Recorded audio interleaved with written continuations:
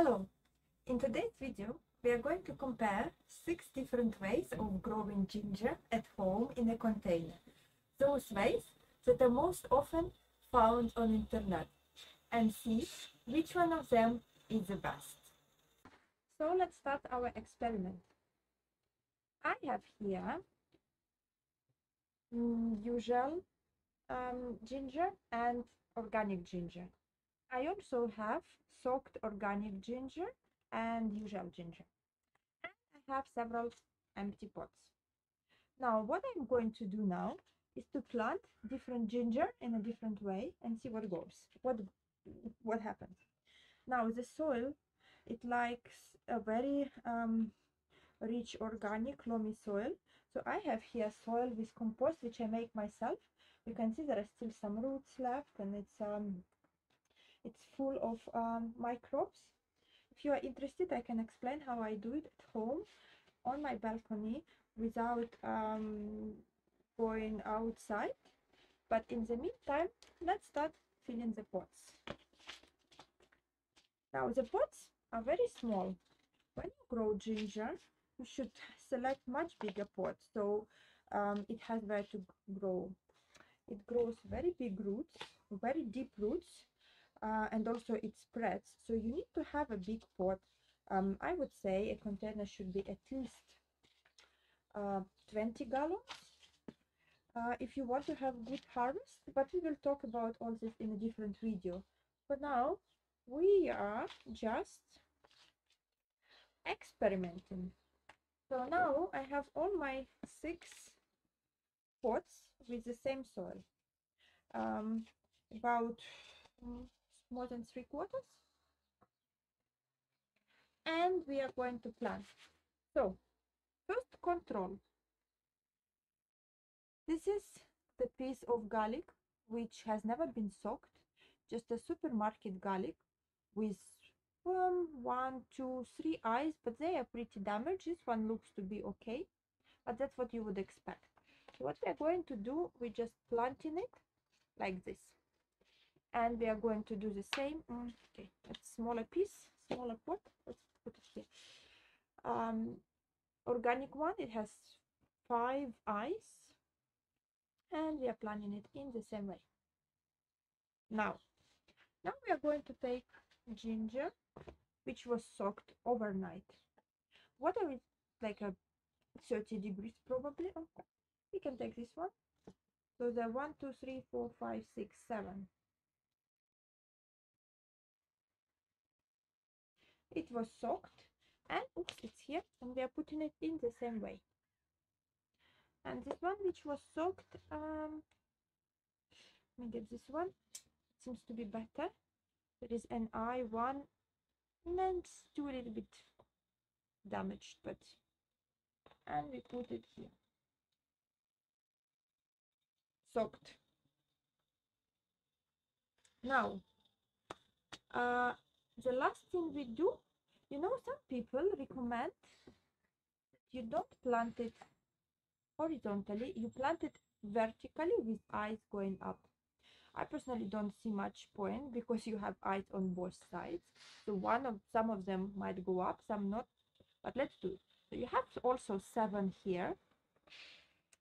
And i'm going to plant not sure which way. Let's do oh let's do this way. They all are up. And then we need to get store-bought one. Let's also get that. You have one two three eyes. And we plant it in the same way. Now it's actually very good because you have three eyes on each of those um, bought in a supermarket. And you have seven. Let me see how many you have here. One two, okay. You have four. You have four in a little piece which we uh, didn't soak. And you have seven in the other two. Now let's put a little bit of soil on the top. Everywhere the same about one centimeter. And let's see how it grows. but We have soil everywhere. We just put it a little bit like this little pressure so that it um, removes air pores. And to remove it more and to promote it to grow we will just water it. Usual water non-fluorinated as always. And let's see how it grows